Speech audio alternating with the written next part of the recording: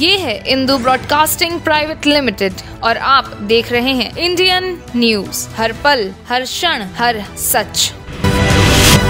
राजनांदगांव कवर्धा लोकसभा क्षेत्र के सांसद संतोष पांडे की पहल पर वंदे मातरम, वंदे भारत एक्सप्रेस ट्रेन को राजनांदगांव रेलवे स्टेशन में स्टॉपेज मिलेगा।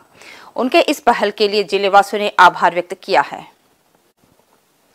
सांसद संतोष पांडे ने बिलासपुर से नागपुर के बीच चलने वाली वंदे भारत एक्सप्रेस ट्रेन के स्टॉपेज की मांग करते हुए लोकसभा में ज़िले वासियों की भावनाओं को रखा था।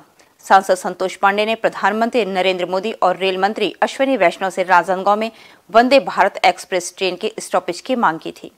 केंद्रीय रेल मंत्री ने मुलाकात के दौरान भारत एक्सप्रेस ट्रेन के स्टॉपेज की सहमति राजनांदगांव के लिए दे दी है।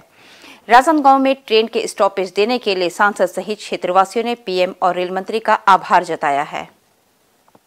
मैं देश के प्रधानमंत्री माननीय नरेंद्र मोदी जी, रेलवे मिनिस्टर श्री अश्वनी वैष्णव जी को हृदय से बहुत बहुत धन्यवाद देता हूँ, जिन्होंने नागपुर से बिलासपुर की ओर जाने वाली वंदे भारत एक्सप्रेस, जो बहुत ही जनता के लिए आवश्यक थी, मैं उसके लिए अपने क्षेत्र की जनता को भी हृदय से आभार व्यक्त करता हूँ, जिन्होंने हमें ताकत दिया और जिनके आशीर्वाद से ये सब संभव हो पाया।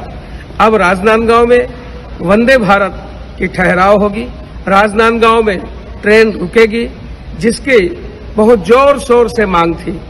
मैं स्वर्गीय राजा बलराम दास जी की जो आकांक्षा थी, जो इच्छा रही कि जो मैंने धरती दान किया है, जो भूदान किया है, मेरे राजनांदगांव में सभी ट्रेनें रुके। आज उनकी आशा अनुरूप यह ट्रेन भी रुक रही है। मैं पुनः अपने लोकसभा क्षेत्र की जनता को हृदय से आभार व्यक्त करता हूँ ये शक्ति ये ताकत आप सबकी है न्यू वीडियोस की अपडेट पाने के लिए सब्सक्राइब करें इंडियन न्यूज़ को और बेल आइकन को दबाएँ।